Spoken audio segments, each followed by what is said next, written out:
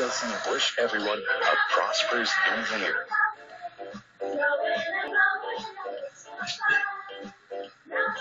Crossover, in association with Traffic.com, now brings you Traffic Watch, your guide to a smoother drive. Time now for another round of updates. Now let's see what's happening over at EDSA Pasay.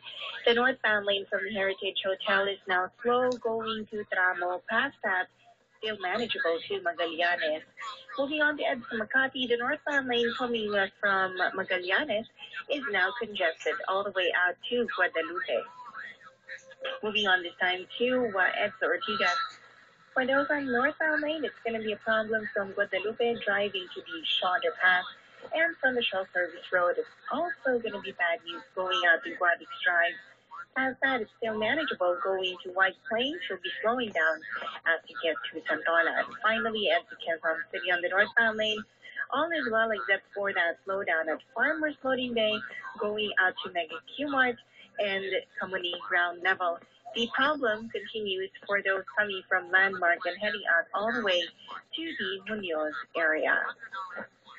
This holiday season, give the gift of health. Visit any Hi-Precision Diagnostics branch and get your annual checkup done to see if your health is in good condition. For more information, call 741 7777 or visit www.hi-precision.com.ph.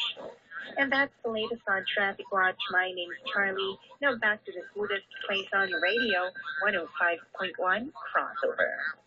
You just heard Traffic Watch from Traffic.com at 105.1 Crossover. Have a smooth afternoon drive with us. Crossover.